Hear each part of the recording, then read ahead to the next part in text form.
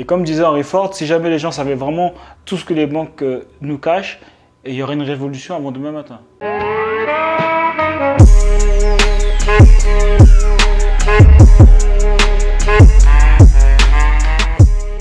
Alors bonjour et bienvenue sur cette nouvelle vidéo. J'espère les gars que vous allez bien. N'hésite pas à t'abonner et à cliquer sur la cloche pour recevoir toutes les notifications. Tu connais ici, c'est Jonathan Hachi. De cette chaîne va te permettre d'être déterminé, passer à l'action, créer ta vie sur mesure. Ok, moi j'ai créé mon premier business en ligne. Euh, je l'ai lancé, c'était en 2016. J'ai fait 20 000 euros une semaine. Euh, c'était un business en ligne sur le saxophone. Hein. Je vends toujours des formations d'ailleurs euh, sur le saxophone où j'aide bah, les saxophonistes à progresser. Euh, d'ailleurs, je te montre exactement comment j'ai fait tout ça euh, dans la masterclass offerte. Et tout ça pour te dire quoi? Tout ça pour te dire que j'ai grandi à Évry dans le 91, euh, dans le quartier des Pyramides, j'ai redoublé mon BEP et pourtant j'ai réussi à le faire. Donc c'est pas, c'est pas, comment dire, c'est pas compliqué, c'est simple, mais c'est pas facile. Mais c'est simple et que tout le monde, tout le monde peut y arriver de nos jours grâce au chamboulement d'Internet, Hein, qui permet à tout un chacun de pouvoir euh, créer sa vie sur mesure. Donc euh, où, tu où tu saisis l'opportunité, en fait c'est tellement beau que je me dis, c'est ouf quand même. Je me dis, est-ce que ça va durer euh? Ok, bon bref, passons directement au sujet de la vidéo. Cinq choses que les banques vous cachent et nous cachent. Hein. c'est ce qu'on va voir dans le sujet de cette vidéo. Et comme disait Henry Ford, si jamais les gens savaient vraiment tout ce que les banques nous cachent, et il y aurait une révolution avant demain matin. Première chose, mettre son argent euh, à la banque. Donc on dirait que tout le monde croit que ça déchire de laisser son argent à la banque. Donc les gens ils font des économies, ceux qui font des économies, hein, voilà. Ils font des économies, laissent leur argent à la banque, comme ça ils pensent que ça déchire. Et ils se disent, de toute façon j'ai mon argent, euh, la banque là, le livret A, j'ai regardé juste avant de faire la vidéo, il est à 0,5, d'accord, 0,5%. Donc tu te dis, bon, moi mon argent, je le laisse là à la banque, je ne prends pas de risque, parce que j'y connais rien en investissement, euh, j'ai déjà fait un truc, euh, j'ai essayé des, comment ça s'appelle, MLM euh, et je me suis fait carotte. donc maintenant, mon argent, maintenant, hop, je mets, enfin pas MLM, chaîne de Ponzi. Moi, mon argent maintenant, je le mets à la banque. Au moins, j'ai 0,5. C'est pas beaucoup, certes, mais voilà, au moins, ça prend 0,5. Et là, c'est là que tu te prends la carotte. C'est là que tu te la prends bien profonde et, et, tu la vois même pas venir et tu la sens même pas. Tu, tu sais pas, tu es là, et c'est là qu'ils sont forts. Pourquoi ça? Marche pas Pourquoi en fait tu fais pas d'argent? En vérité, quand tu laisses ton argent, tu perds de l'argent. Tu dis mais ça n'a aucun sens. Tu viens de me dire que ça prend 0,5%. Calme-toi, calme-toi. Hein. Tout simplement pourquoi? Parce que l'inflation prend 2,5% chaque année. Aux États-Unis, c'est entre 2,5 et 3%. Donc en France, euh, on est toujours, on est toujours, on est pareil, hein, les gars, on suit. Donc on doit être au moins à 2% d'inflation euh, tous les ans. Donc si toi, tu prends 0,5% et que l'inflation est à 2,5, tu vois bien que tu es en train de perdre de l'argent là. Et là, tu es en train de me dire, mais, c'est quoi, euh, quoi l'inflation exactement? Très bonne question, Gérard. Toi, déjà, c'est bien. Tu te poses des bonnes questions déjà. Ça, c'est important déjà. Parce que si tu ne poses pas de questions, euh, voilà. J'avais prévu que tu allais poser cette question, Gérard, donc bouge pas. Définition de l'inflation accroissement excessif des instruments de paiement type billets de banque, capitaux, entraînant une hausse des prix et une dépréciation de la monnaie. Non T'as pas saisi toujours bon. Ah, Gérard, Gérard quand même. Bon alors en gros, pour faire simple, si jamais tu as 10 000 euros à la banque, euh, aujourd'hui ce que tu peux t'acheter avec 10 000 euros, eh ben, ça veut dire qu'avec l'inflation, eh ben, dans, dans, quelques années, les mêmes 10 000 euros, tu pourras pas acheter les mêmes choses. Ok? Donc voilà pourquoi tu perds de l'argent. Donc la banque, c'est pas fait pour euh, te permettre de faire de l'argent, c'est juste pour pouvoir le stocker à un endroit voilà, donc en général, tu mets un petit. C'est juste pour avoir de l'argent disponible rapidement, si jamais tu as besoin de faire un truc, mais c'est pas euh, là où tu vas pouvoir faire de l'argent. Deuxième chose, c'est que l'argent que tu vois sur ton compte n'existe pas. Il n'existe pas en vérité. Toi, tu vois comme ça, tu crois que tu regardes ton, compte en banque, tu crois que l'argent est là. En fait, l'argent n'existe pas. Les banques doivent garder au minimum 10% de la somme que tu leur donnes chez eux. Ok? Donc, qu'est-ce qui se passe en pratique? Toi, tu donnes 1000 euros à, euh, à la banque, tu déposes 1000 euros à la banque. La banque, ce qu'il fait, c'est qu'il prête 900 euros à, euh, je ne sais pas, 5%, 5,5% à quelqu'un d'autre. Donc, toi, en vérité, la, vérité, toi, ton compte, il y a, y a 100 euros. Mais, par magie, tu vois toujours écrit euh, 1000 euros. Mais c'est pas vrai. Parce que ton argent, en fait, la banque, ce qu'ils font, ben, c'est qu'ils font de l'argent avec ton argent. D'où pourquoi, pourquoi toi, tu fais pas la même chose pourquoi tu n'es pas ta propre banque, quoi, en fait?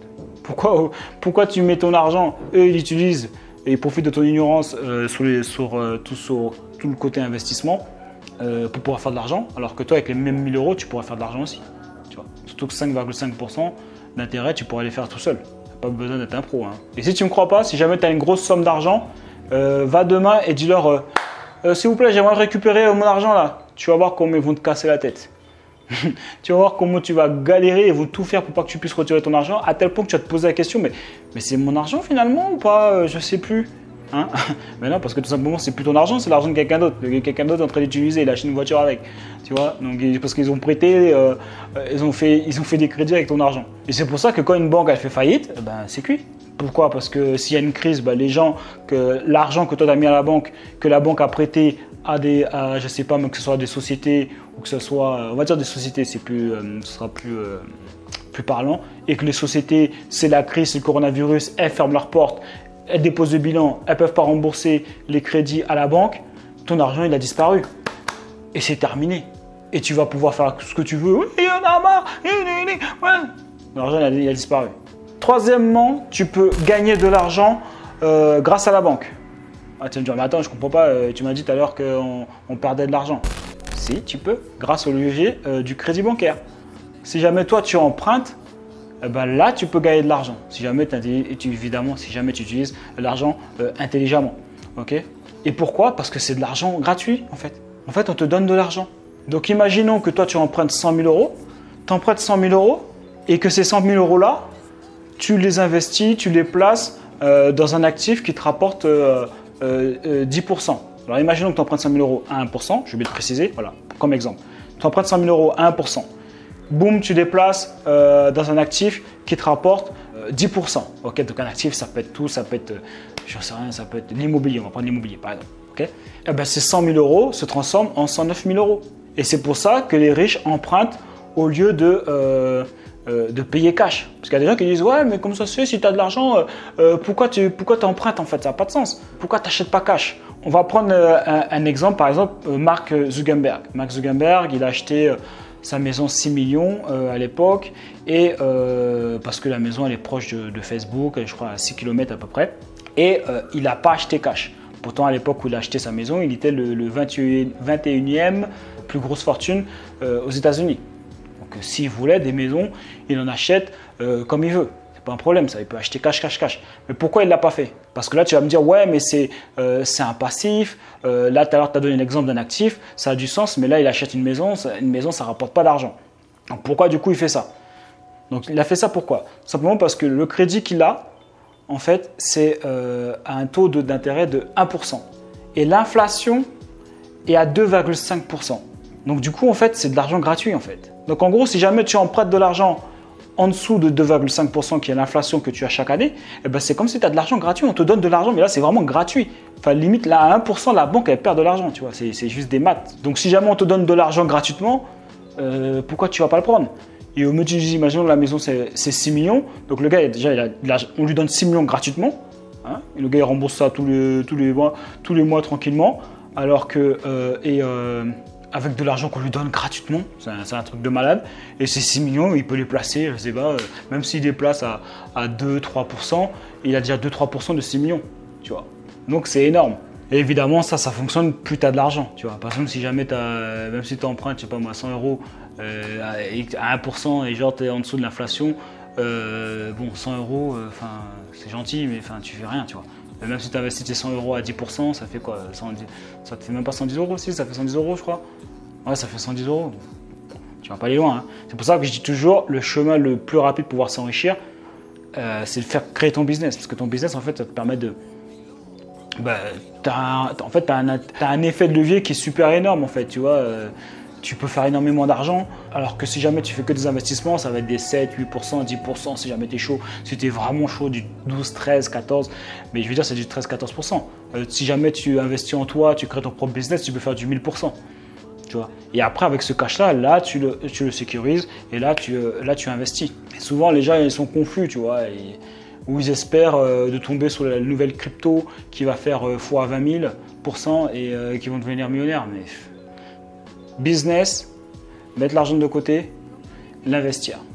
c'est le meilleur chemin. Parce qu'aujourd'hui, si tu veux investir 100 euros, même si genre ça fait 100%, par exemple, as un actif, imaginons que c'est le Bitcoin, j'en sais rien, n'importe quel actif, 100% de 100 euros, ça te fait 200. Tu vas pas changer d'avis là. Donc il faut clairement du cash. Quatrième chose que les banques nous cachent, c'est que plus tu es riche, en fait, plus tu auras accès à des intérêts euh, qui sont bas. Et donc, du coup, plus tu peux tirer ton épingle du jeu, comme il a fait Marc, euh, super coup, hein, coup de maître, euh, quand il a acheté sa maison. Et après, tu peux dire, ouais, encore les riches, il y a toujours les mêmes qui en profitent, etc. etc. Mais après, il faut se mettre à la place de, la banque. La banque, en fait, elle calcule toujours le risque. Toi, si jamais tu as de l'argent à prêter à quelqu'un, tu préfères le prêter à quelqu'un, à une personne qui est riche, qui a l'habitude de générer du cash, qui a plusieurs sources de revenus, ou tu préfères euh, prêter ton argent à quelqu'un qui, qui, est salarié, qui a, un salaire moyen, qui a une seule source de revenus. Si jamais demain il perd son travail, eh ben, il ne peut plus te payer. Donc euh, la banque, c'est simple. Hein. Elle préfère dire, OK, je prête mon argent à lui, au moins je suis tranquille. Peut-être que j'ai un taux d'intérêt plus bas, mais je sais que cet argent-là, c'est sûr qu'il va revenir. Et cinquième chose que les banques nous cachent, c'est leur arme massive, hein, qui est connue de tout le monde, mais tout le monde tombe dans le panneau, c'est les crédits à la consommation ou les cartes de crédit. C'est là qu'ils font le plus d'argent. Et tout simplement pourquoi? Parce qu'en fait, ils, jouent sur l'ignorance des gens ou, la, je sais pas, leur, euh, leur, fin de, gratification immédiate. Euh, donc les gens, en fait, ils prennent des crédits sans se préoccuper de savoir comment ils vont faire pour pouvoir rembourser après. Donc c'est incroyable. Donc ils profitent de ça. Maintenant, dans une société, que ce soit même dans tout le, dans le monde entier, même en Colombie, j'y suis, c'est la même chose.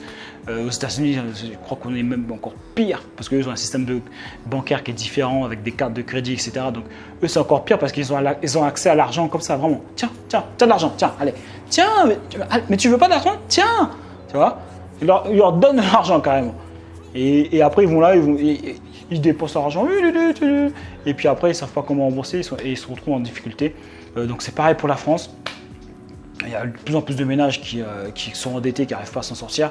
Euh, j'ai vu, il y a près de 100 000, 100 sur l'année dernière, janvier à novembre, mes amis, 100 000 dossiers de surendettement. Donc les gars, vous ne faites pas avoir ok, par les crédits à la consommation.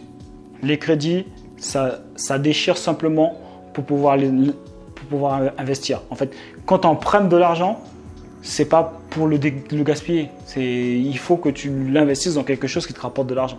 Sinon, ça n'a pas de sens. Donc voilà, c'est tout pour cette vidéo. N'hésite pas à mettre un j'aime euh, et un j'aime pas si jamais euh, tu n'as pas aimé la vidéo parce que tu travailles à la banque et, et tu voulais pas que, que je dévoile les secrets. Bon après voilà les gars, je suis tranquille, hein, euh, m'attaquez pas les gars. Moi j'ai juste dit des petites informations, voilà, j'ai pas tout dit. Hein. Ok? Donc voilà les gars, c'est tout pour cette vidéo. Qu'est-ce que je veux te dire d'autre? Ouais, tu as la masterclass faire du son dessous si jamais tu veux aller plus loin et créer ton business en ligne et enfin euh, ben, augmenter tes revenus.